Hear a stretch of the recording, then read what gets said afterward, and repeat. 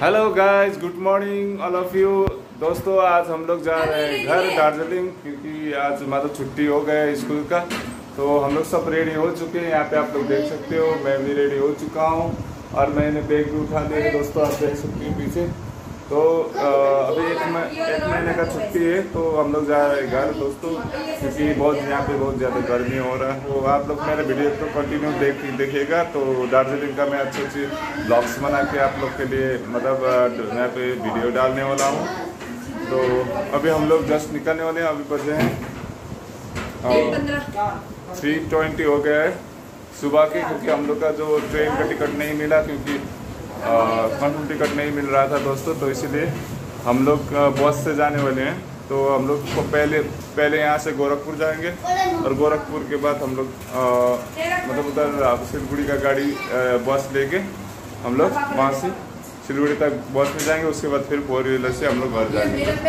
तो ये पेमा मैम भी रेडी हो चुका है, आप देख सकते हैं। और मैं भी रेडी हूँ तो आप लोग निकल रहे हैं दोस्तों। तो दोस्तों, अभी हम लोग गेट पे आ चुके हैं और यहाँ पे यहाँ पे गाड़ी से पहुँचाएँगे हम लोग को दरगाह तक। उसके बाद हम लोग बस से जाएँगे गोरखपुर। तो अभी भैया जी नहीं आए हैं तो अभी थोड़ी देर इंतज़ार करना पड़ेगा। दोस्तों, हम लोग फाइनली गेट पे आ चुके हैं स्कूल के गेट में। अभी हम लोग निकलने वाले हैं।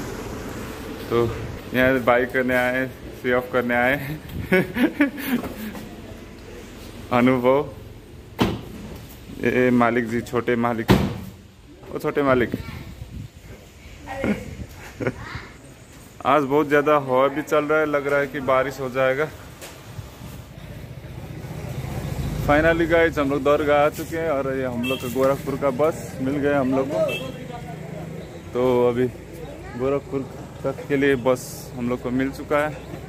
अभी हम लोग का भैया जी लोग हम लोग को पहुँचाने आए थे। बड़े सर और सर आए थे दोनों हम लोग को छोड़ने के लिए दरगाह तक। तो यहाँ से हम लोग बस में जाएँगे। सर जी। तो फाइनली गाइज़ हम लोग गोरखपुर आ चुके हैं और आप लोग देख सकते हैं आप गोरखपुर का नज़ारा। ये देखिए। गोरखपुर बहुत अच्छा लग रहा है।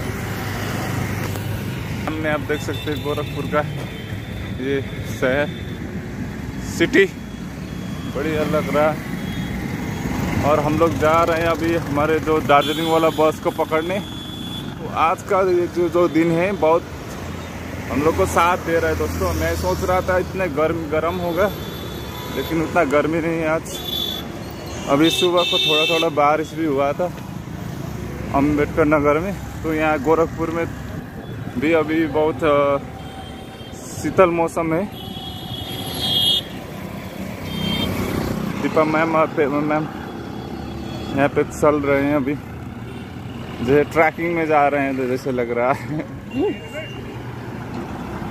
है ना?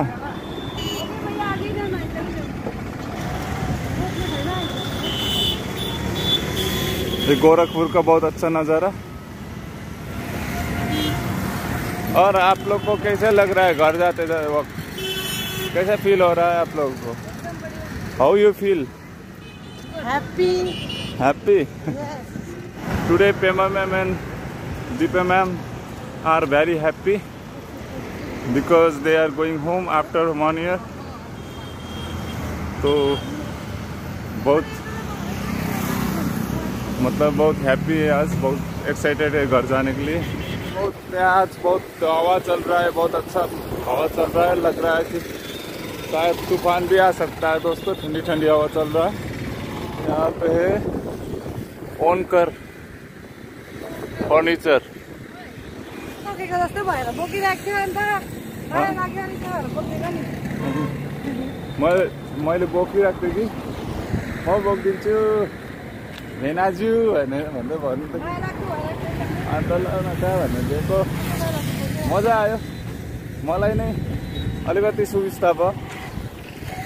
उसले भ्लग बनाउँदैछ भेनाले त्यही भएर चाहिँ भेनाको लागि इजी हुनुहोस् भनेर चाहिँ। हामीले बोकेको नि। हामी दुईजना त अगाडि पुगिसकेको यस्तो मान्छेहरू कहाँ पाउँछौ आफ्नो जमानामा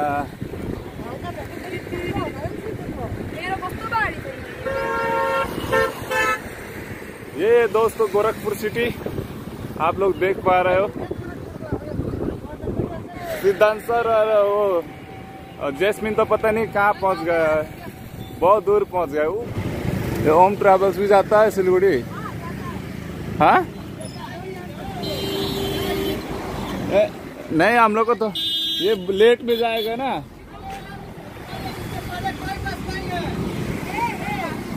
कितने बजे जाता है? फाइनल गाइस हम लोग के यहाँ पे हमारा गाड़ी मिल चुका है और हम लोग को यहाँ पे सीट आ, सीट भी मिला है। अभी स्लीपर ले लिए हम लोग। स्लीपर बुकिंग किए हैं। तो हमारा सीट है अभी। यहाँ पे आप लोग देख सकते हो। ये है, देखिए, स्लीपर क्लास है ये। ये एक है और ऊपर का ये वाला एक है। तो आराम से सो के जा सकते हैं। तो बहुत बढ़िया है। तो हम लोग ज़्यादातर इसी में जाते हैं, जो जय माता दी में। तो गाइज़ ये हमारा बस और जय माता दी। तो हम लोग आज इसी में ट्रैवल करने वाले हैं सिलगुड़ी तक। तो अभी हम लोग सामान वगैरह पूरा गाड़ी के अंदर रख रख चुके हैं, बस के अंदर रख चुके हैं। तो हम लोग थोड़ी मतलब सुबह जल्दी आए थे दोस्तों, सुबह के तीन बजे हम लोग वहाँ से निकले। तो अभी थोड़ा भूख लग रहा है, अभी ब्रेकफास्ट भी नहीं हुआ है। तो हम लोग जा रहे हैं अभी ब्रेकफास्ट करने, सारे लोग जा रहे हैं। ये है नज़ारा, गोरखपुर का। वो पेट में बहुत ज़्यादा चुहा दौड़ रहा है दोस्तों, अभी थोड़ा सा कुछ खाते हैं जाके। हाय गाइस अभी हम लोग सोने जा रहे हैं। हम लोग अभी बस के अंदर हैं स्लीपर क्लास में। तो अभी हम लोग अपने स्लीपर क्लास, अपने सीट पे हम लोग सोए हुए हैं दोस्तों, हमारा रूम बहुत खूबसूरत छोटा सा रूम देखिए। ये देखिए, ये आज का हम लोग का बेडरूम है। और ये हम है। ये हम है और ये हमारा रूम है आज।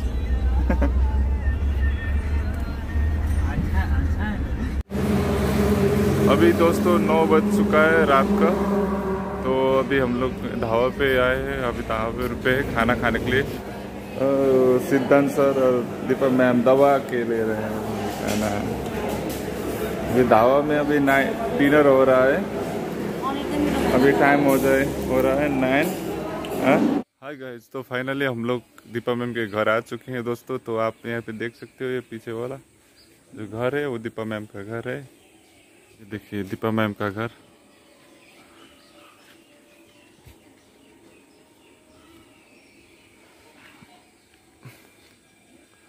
ये देखिए ये दीपा मैम का घर है और ये सिद्धांत सर का सिद्धांत ससुराल।